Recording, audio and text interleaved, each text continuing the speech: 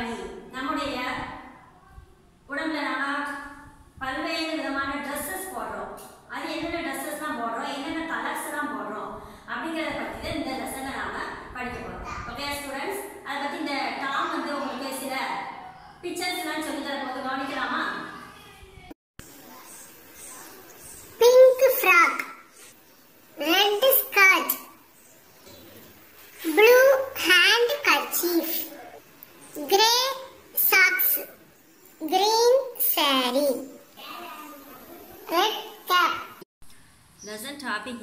Listen to your body L I S T E N listen T O to your Y O U R your body B O D Y body listen to your body உன்னுடைய உர உடம்பை அறி.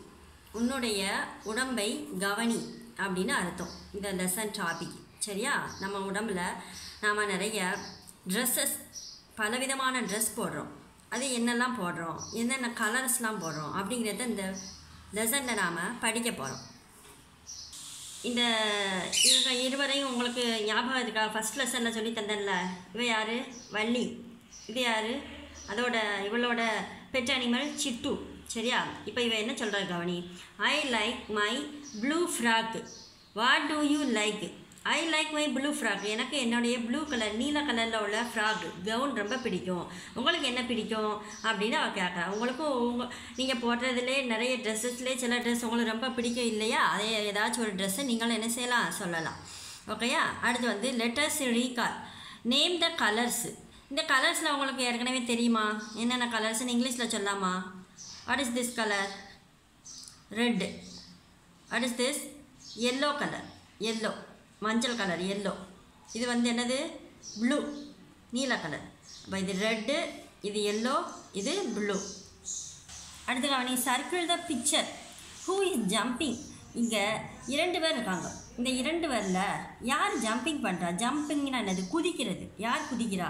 இவ தான் இந்த பொண்ணு தானே குதிக்கிறா. So நாம் இந்த பொண்ணை என்ன செய்யணும்? சர்க்கிள் பண்ணணும்.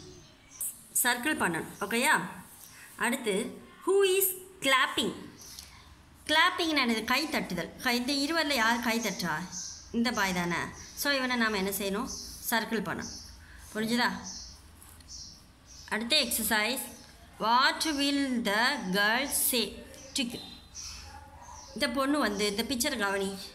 இந்த ஒரு பொண்ணு வந்து இன்னொரு பொண்ணுக்கு கிஃப்ட் கொடுக்குறா பாரு. நம்ம ஏற்கனவே படிச்சிருக்கோமா இது கிஃப்ட்டு கிஃப்ட் கொடுக்கும்போது இந்த பொண்ணு என்ன சொல்வா? சாரின்னு சொல்லுவாளா? தேங்க்யூன்னு சொல்வாளா தேங்க்யூ தானே சொல்வா? ஸோ நாம் இதில் டிக் பண்ணணும். Read these words brush clock nest bank flag drum bend lift okay students look and say பேஜில் பாரு. இப்போ இந்த வீட்டில் நிறைய திங்ஸ் இருக்குது. நாம் இது கலரோடு சேர்த்து நம்ம படிக்க போகிறோம் சரியா?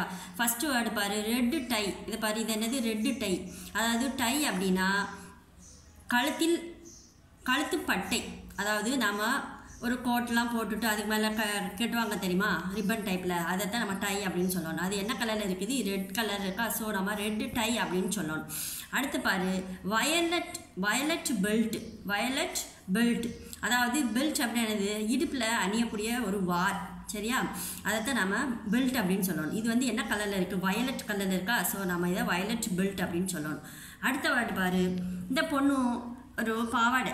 அதாவது ஸ்கர்ட் ஸ்கர்ட் அப்படின்னா என்னது? பாவாடை. அது வந்து என்ன கலரில் இருக்குது ரெட் கலரில் தானே இருக்குது. So red skirt red skirt இதை வந்து எப்படி சொல்லணும்? ரெட் ஸ்கர்ட்னு சொல்லணும்.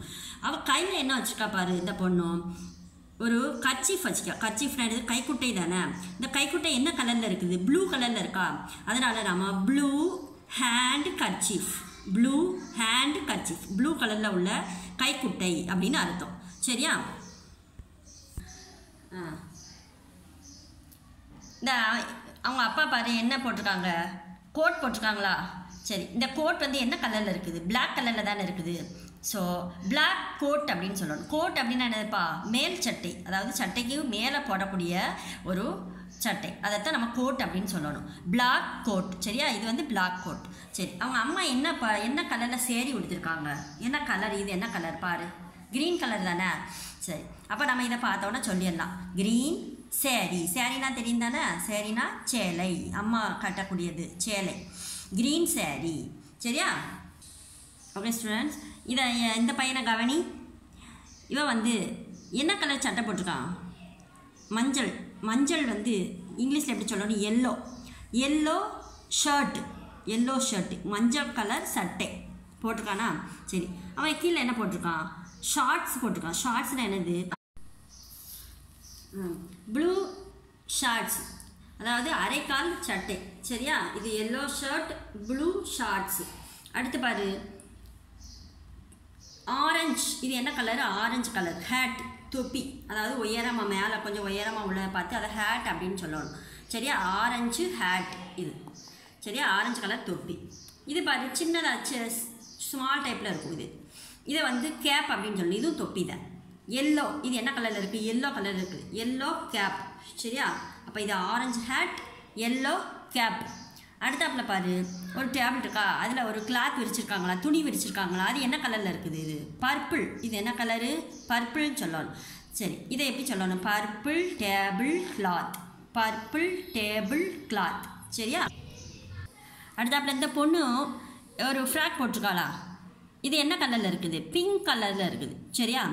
அப்போ இதை எப்படி சொல்லணும்? பிங்க் ஃப்ராக் ஃப்ராக் அப்படின்னா கவுன் சின்ன குழந்தைகள் குட்டி சிறுமிகள்லாம் போடக்கூடியது. பிங்க்கு ஃப்ராக் சரியா? அவள் காலில் வந்து ஒரு கால் ஒரு சாக்ஸ் போட்டிருக்காளா? சாக்ஸ் இது என்ன கலரில் இருக்குது கிரே கலரில் இருக்கா? சரி. இதை எப்படி சொல்லணும்? கிரே சாக்ஸ் இதை எப்படி சொல்லணும்? கிரே சாக்ஸ் அப்படின்னு சொல்லணும். சரி. இவங்க தாத்தா வந்து என்ன போட்டிருக்காங்க? ட்ரெஸ்ஸு ஒரு சொட்டர் போட்டிருக்காங்க சொட்டர் அப்படின்னு என்னது? உள்ளன். அதாவது குளிர்காலத்துலலாம் போடக்கூடியது. அதை வந்து ஸ்வெட்டர் அப்படின்னு சொல்லணும். அது என்ன கலரில் இருக்குது இது? ப்ரௌன் கலர் இது. ப்ரௌன் ஸ்வெட்டர் ப்ரௌன் ஸ்வெட்டர் சரி. இது என்னதுப்பா அவங்க தாத்தா போட்டிருக்கிறது கீழே? வேட்டி. வேட்டி இங்கிலீஷில் தோட்டி அப்படின்னு சொல்லணும். தோட்டி. அது என்ன கலர் இருக்கும்? தாத்தா எல்லாரும் விடு உடுக்கிற. வேட்டி என்ன கலர் இருக்கும்? ஒயிட் கலர் தானே வெள்ளை கலர் தானே. ஸோ நம்ம ஒயிட் தோட்டி அப்படி சொல்லணும். எப்படி சொல்லணும்? ஒயிட் தோட்டி ஓகே ஸ்டூடெண்ட்ஸ் இப்போ நாம் லுக் அண்ட் ஷே பேஜில் படிச்சிருந்த எல்லா வேர்ட்ஸையும் உங்கள் நோட்டில் காப்பி பண்ணி நல்லா ஸ்பெல் பண்ணி ரீட் பண்ணணும். இதான் உங்களுக்குள்ள ஹோம்ஒர்க் சரியா? Thank you students